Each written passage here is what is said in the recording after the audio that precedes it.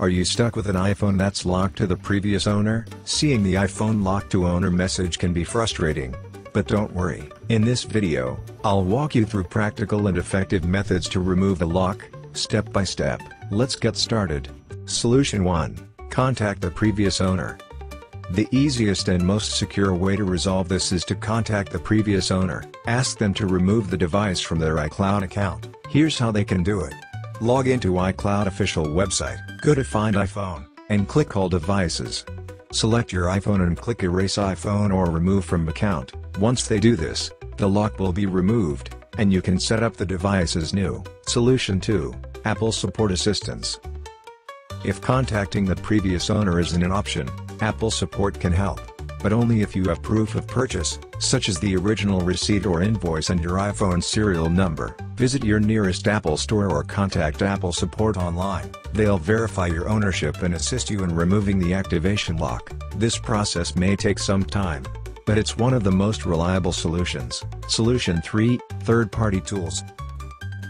If you've exhausted all official options, third-party tools can help bypass the lock. However, these tools are not endorsed by Apple and should be used responsibly. One such tool is MagPhone Activation Unlocker, which is designed to help you remove the iCloud activation lock quickly and easily. Launch MagPhone Activation Unlocker on your computer and select the Remove iCloud Activation Lock option from the main interface. Next, connect your iPhone to the computer. Carefully review the list of supported devices and the disclaimer before clicking the Start button.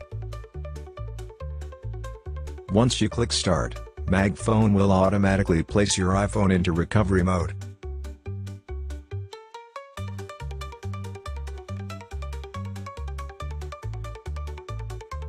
You will then need to follow the on-screen instructions to put your iPhone into DFU mode.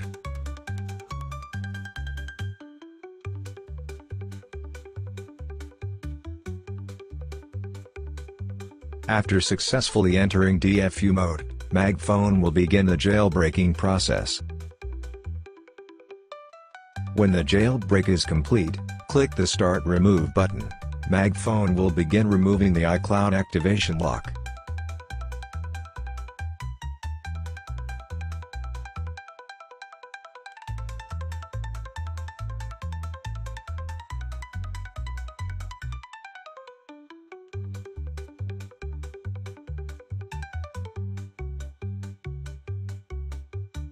After a few minutes, the process will be complete, and the iCloud lock will be successfully removed from your iPhone. Keep in mind that this should only be used for devices you legally own. Here are a few important tips to remember. Always check for activation lock before buying a second-hand iPhone. Keep proof of purchase handy, it's essential for Apple support. Use third-party tools only as a last resort and ensure the tool you choose is trusted and secure. By following these steps, you can regain access to your device without unnecessary stress.